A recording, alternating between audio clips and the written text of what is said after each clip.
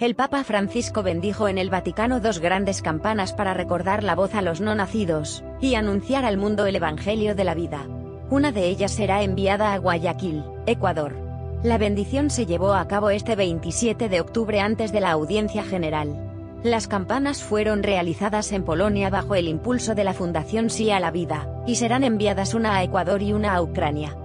Hoy he bendecido las campanas que llevan el nombre, la voz de los no nacidos, que sean para estas naciones y para todos, un signo de compromiso a favor de la defensa de la vida humana desde la concepción hasta la muerte natural, advirtió el Papa ante los numerosos fieles reunidos en el aula Pablo VI. En esta línea, el Santo Padre alentó a que el sonido de estas campanas anuncie al mundo el Evangelio de la vida, despierte las conciencias y la memoria de los no nacidos, y añadió confío a sus oraciones cada hijo concebido, cuya vida es sagrada e inviolable. La campana que será destinada a Ecuador tiene escrito varios mensajes, entre ellos, el lema de la campana La voz de los no nacidos, el llamado del Santo Juan Pablo II en la encíclica Evangelium Vitae Respeta, defiende, ama y sirve a la vida, a toda vida humana, la frase del profeta Jeremías antes de formarte en el vientre materno yo te conocía, antes de que salieras del seno, yo te había consagrado y el quinto mandamiento no matarás. Por su parte, el obispo auxiliar de Guayaquil, Monseñor Juan Bautista Piccioli, explicó a EWTN que un grupo de ecuatorianos viajó a Roma para asistir a la bendición del Papa, y que después de 45 días de viaje será recibida solemnemente en la Catedral de Guayaquil.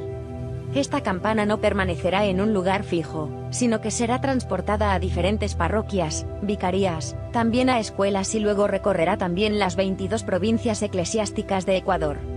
La campana siempre es una llamada a los feligreses a la reflexión, a la oración, a los buenos sentimientos. El sentido de esta campana es llegar al corazón de las personas más sencillas, no solo, también al corazón de los políticos, de los que trabajan en la vida pública, para que pueda mover, cambiar la conciencia de estas personas, y puedan ser defensoras de la vida desde el comienzo hasta el final.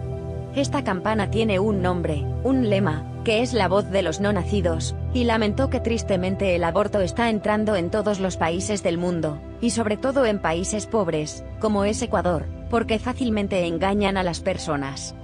Nosotros queremos ir al corazón de estas personas y decirles, también a las personas más sencillas, que la defensa de la vida es un valor de una humanidad humana, y no de una humanidad deshumana en donde el hombre mata a su hermano hombre, pero el hombre mata a los niños que no tienen ninguna posibilidad de defensa, entonces queremos despertar las conciencias, porque la vida va siempre defendida, en cualquier momento, en cualquier instante, en cualquier circunstancia, indicó el obispo auxiliar de Guayaquil. Además, el párroco de la iglesia San Juan Pablo II explicó que la campana destinada a Ucrania llegará primero a esta parroquia, pero no permanecerá allí porque también será llevada a otros lugares y parroquias de todo el país. La campana apoyará nuestra campaña educativa. Junto a ella se instalará una pequeña exposición. De este modo, la campana facilitará la realización de una buena campaña educativa, que consiste en dar a conocer la verdad científica sobre el inicio de la vida humana desde el momento de la concepción, describió el sacerdote.